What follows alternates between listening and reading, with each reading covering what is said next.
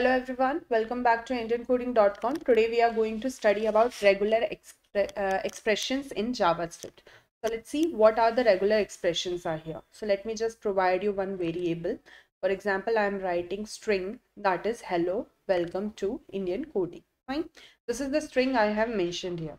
I have to provide the regular expression for that particular string. So I will just first write regular, sorry, a variable x is equal to str dot search. We have to search it. Okay? And then con console dot log. And then let me inspect it here. Console and reload it. So it will provide you at which position that particular text is available. The first letter is available.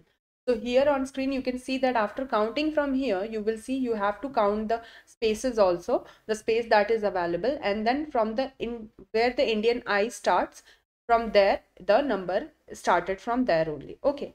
So that is what i'm telling you. This is how you can find it. So i hope you understood this much. What is the use of it? So uh, that is how you can do it. Fine. So uh, these are the few kinds of examples that is available. I hope you understood this much. These are the few examples. Let me just comment it out this one. Then we will again write one variable and i will just write indian here okay fine.